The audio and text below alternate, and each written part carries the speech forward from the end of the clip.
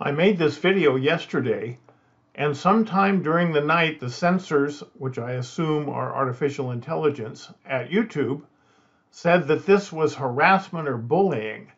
Now, the patient is Donald Duck, and I'd be surprised if he was really offended by any of this, but I don't want to offend anybody.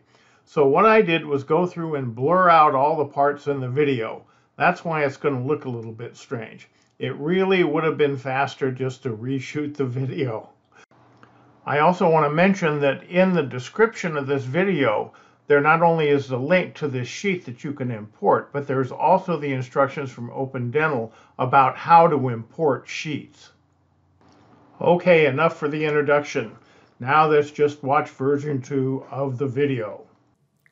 Here's a short video showing you how you can use the medical consultation sheet in Open Dental, which kind of helps you save time when you need to consult with the patient's physician. You need to be sure that you set up the referral list correctly. So if we click down here, I'm in the family module, click down here, and I have two referrals, I can add a referral, either a referral from or a referral to. It doesn't really make any difference for this particular sheet. And you can see I've got Marcus Welby in here. If I double click on that, I can go in and edit the referral. So make sure you put the information in here correctly if you want it to appear correctly in this sheet. It doesn't make any difference over here on the specialty. I just put denturist just to make that point. So we don't worry about that part. Okay, so now we've got that in there. I'm going to close this so I link that referral to Donald Duck. And now I'm going to go up to letters up here but to the little drop down right next to it. And this is where your referral letters are. So I could send it to Mickey Mouse if I wanted to, but I want to send it to Marcus Welby. So I click on that, and then the one that I want is this sheet that we're talking about, this medical referral. Okay, and there's my letter, boom, just like that, with all this information filled in. Uh, you can print this and mail it off. You can fax it. You could email it.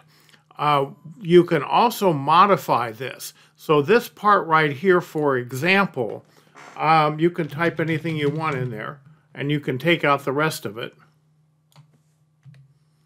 Uh, so this is very editable, and when you save it, I'm just going to say OK.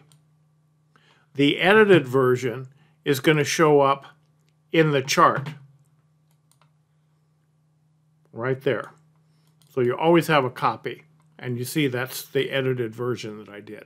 So it's automatically pulling in the allergies and the medical problems for the patient. You could go up and modify these things too if you wish. Okay, so again, the uh, zip file that contains this sheet is in the description of the video, and hopefully you find that helpful. If you'd like other help with making Open Dental work a little harder in your office, give us a call, or now you can schedule online for a consultation just by going to our website and clicking on the yellow schedule button at the top. Hopefully you found this useful and you'll give us a thumbs up and subscribe to our channel.